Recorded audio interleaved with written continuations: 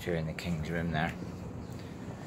We're in this um, fort which has been restored and converted into a museum.